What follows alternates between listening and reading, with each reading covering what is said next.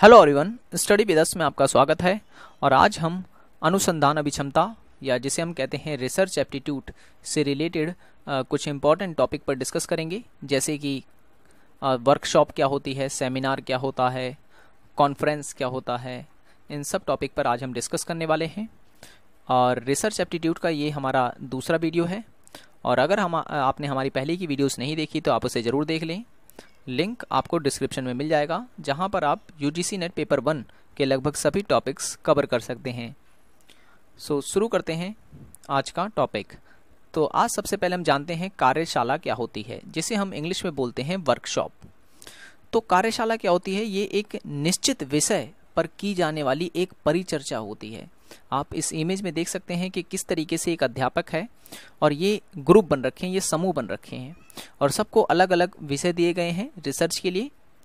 और जिसमें ये जो अध्यापक है, वो उन्हें मोटिवेट कर रहा है और तरीके बता रहा है कि किस किस तरीके से उन्हें कार्य करना है। तो हम कह सकते हैं कि कार्यशाला जो है, एक निश्चित विषय पर की जाने वाली परिचर्चा होती है और जिसमें कुछ प्रायोगिक, जिसमें कुछ प्रायोगिक कार्य होता है। और जिसके सदस्य अपने ज्ञान अपने ज्ञान और अनुभव का आदान प्रदान करके उस विषय के बारे में सीखते हैं। तो उसे हम कहते हैं कार्यशाला।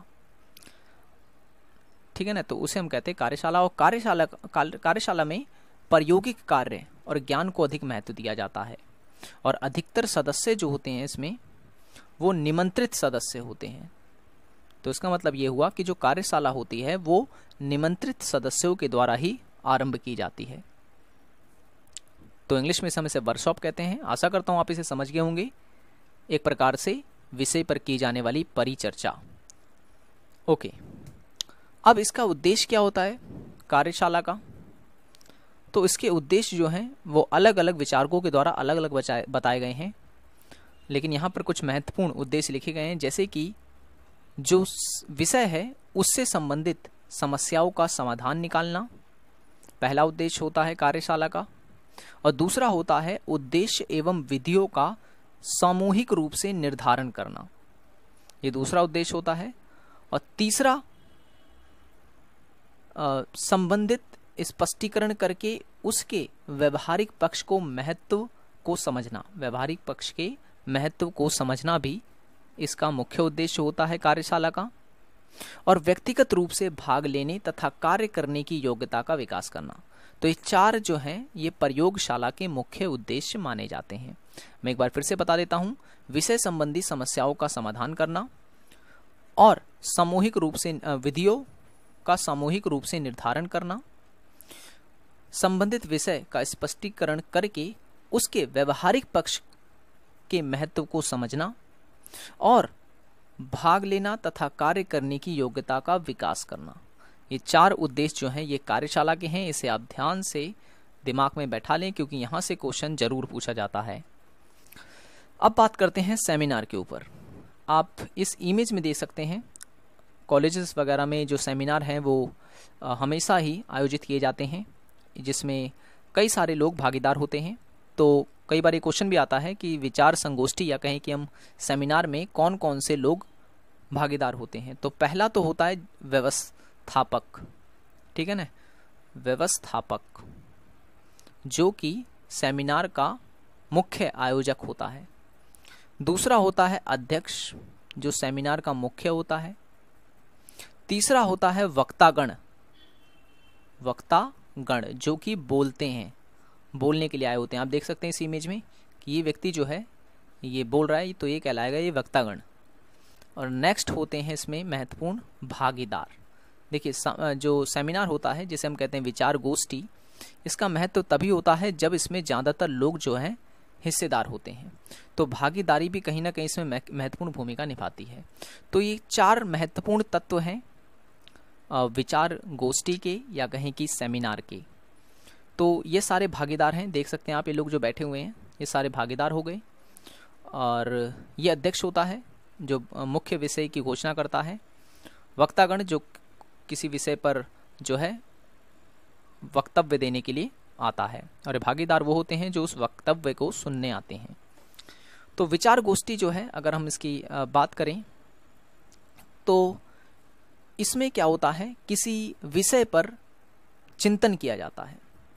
इसमें एक वक्ता जो है किसी विषय के बारे में जानकारी देता है और भागीदार जो है उस विषय के प्रति अगर उनकी रुचि होती है तो वो उसे सुनने के लिए आते हैं। ठीक है ना? तो यही होता है विचार गोष्ठी के अंदर, सेमिनार के अंदर। और इसका जो आयोजन है मुख्य रूप से इसी कारण किया जाता है ताकि विषय से संबंधित ज्ञान जो है वो बढ़ सके। ठीक है ना? तो अब आगे चलते हैं। विचार संगोष्ठी यानी सेमिनार के आखिर में उद्देश्य क्या होते हैं? क्यों इसे जो है आयोजित किया जाता है राष्ट्रीय स्तर पर अंतर्राष्ट्रीय स्तर पर? तो इसके जो उद्देश्य होते हैं पहले तो मैं बता दूँ एक प्रजातांत्रिक देश होने के नाते सेमिनार जो है वो एक देश के लिए काफ़ी महत्वपूर्ण होता है। क्योंकि सेमिनार ही एक वो आ, कह सकते हैं स्टेज होता है जिस पर लोग अपने विचार को अभिव्यक्त कर पाते हैं। विचार को अभिव्यक्त कर पाते हैं और एक प्रजातांत्रिक देश यानी डेमोक्रेटिक कंट्री के लिए इससे बड़ी बात और कुछ नहीं हो सकती कि वह व्यक्ति समाज के सामने अपने विचारों को रख सके। तो हम कह सकते हैं कि एक प्रजातांत्रिक राष्ट्र के लिए जो सेमिनार है, वो काफ़ी महत्वपूर्ण होता है। और इसका जो मुख्य उद्देश्य होता है, वो होता है ज्ञानात्मक और भावनात्मक विकास करना। ठीक है ना? उच्च उद्देश्यों की प्राप्ति करना, या हम कह सकते हैं कि व्यक्ति के अंदर ज्ञानात्मक और भावनात्मक विचार को, विकास को बढ़ावा देना। अब इससे और भी कई सारे फ़ायदे होते हैं, या हम इसे ये भी कह सकते हैं कि ये इसके मुख्य उद्देश्य हैं। पहला, इससे कि विश्लेषण और आलोचनात्मक क्षमता का विकास होता है व्यक्ति के अंदर। किसी भी विषय को अच्छी तरह से समझना आता है व्यक्ति को, उसकी आलोचना भी वह व्यक्ति अच्छी तरह से कर पाता है। अगर वो सेमिनार को अच्छी तरह से आयोजित कर मतलब उसमें भागीदार बनता है तो। नेक्स्ट विचार गोष्ठी से मूल्यांकन करने की योग्यता बढ़ती है। इवेलुएट कर पाते हैं आप किसी भी विषय को अच्छी तरह से। नेक्स्ट विचार गोष्ठी से निरीक्षण और अनुभव के प्रस्तुतिकरण की क्षमता का भी विकास होता है। और नेक्स्ट अन्य व्यक्तियों की विरोधी विचार, दृष्टिकोण की सहनशीलता का भी विकास होता है।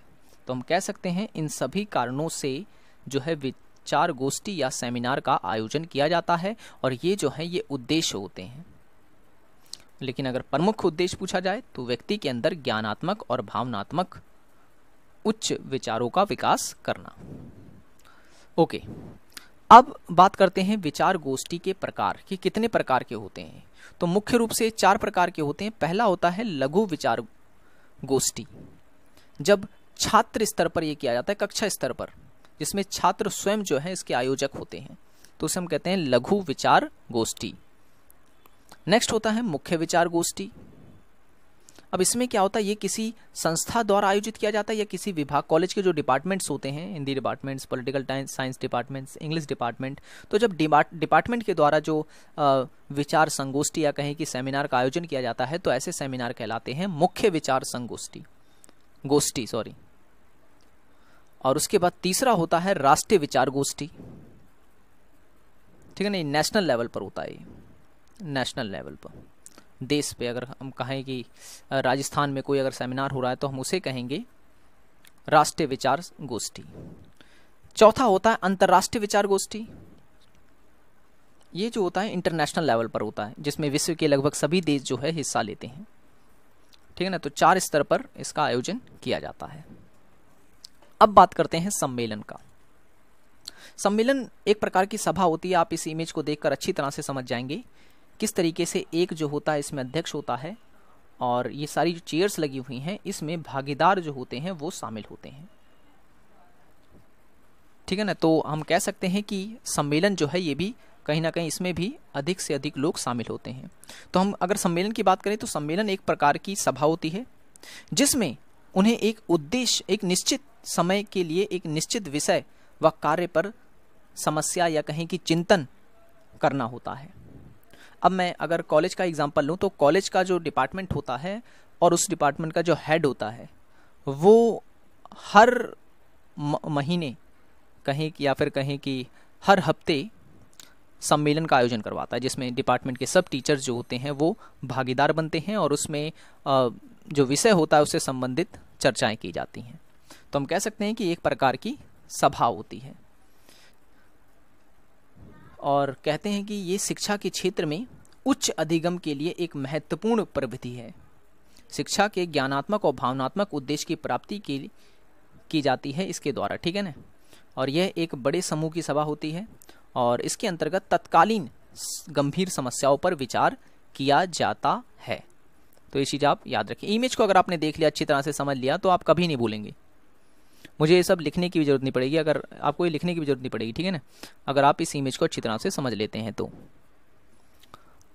अब जो सम्मेलन जिसे हम कॉन्फ्रेंस भी कहते हैं, अब ये तीन स्तर पर इसका आयोजित, आयोजन किया जाता है। पहला होता है क्षेत्रीय सम्मेलन, जो कि क्षेत्रीय समस्याओं से संबंधित होता है। क्षेत्रीय समस्याओं की चर्चा जिसमें की जाती है। दूसरा होता है राष्ट्रीय सम्मेलन, जिसमें राष्ट्रीय धार्मिक, शैक्षिक, सामाजिक व राजनीतिक विषयों की चर्चा की जाती है। तीसरा होता है अंतर्राष्ट्रीय सम्मेलन। इसमें मानवीय समस्या व वैज्ञानिक आविष्कार इत्यादि की चर्चा की जाती है।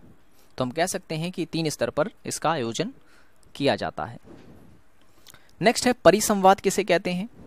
तो परिसंवाद क्या होता है कि जब किसी एक से अधिक व्यक्तियों की राय के अनुसार किसी तरह का निर्णय लेना होता है, तब ऐसे व्यक्ति आपस में बैठकर जब उस विषय पर वार्तालाप करते हैं तो उसे हम कहते हैं परिसंवाद।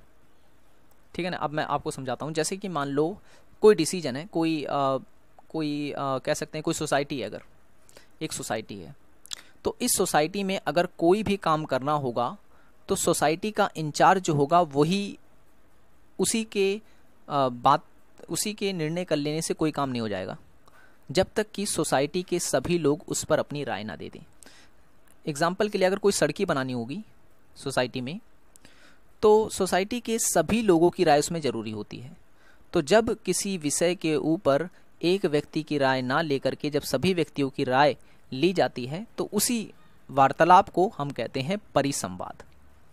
ठीक है ना? तो उसे हम कहते हैं परिसंवाद। तो यहाँ से भी क्वेश्चन पूछा जाता है कि परिसंवाद क्या है? तो आप इसे इजीली दे सकते हैं, बता सकते हैं आंसर इसका सो अगर आपने हमारी पहले की वीडियोस नहीं देखी हैं तो आप ज़रूर उसे देखें। ताकि आपके जो कॉन्सेप्ट हैं वो अच्छी तरह से क्लियर हो सकें, क्योंकि एग्ज़ाम अब बहुत ही करीब है। सो अगर आपने हमारी पहले की वीडियोस नहीं देखी है तो उसे ज़रूर आप देखें। लिंक आपको डिस्क्रिप्शन में मिल जाएगा। सो तब तक के लिए थैंक्स फॉर वॉचिंग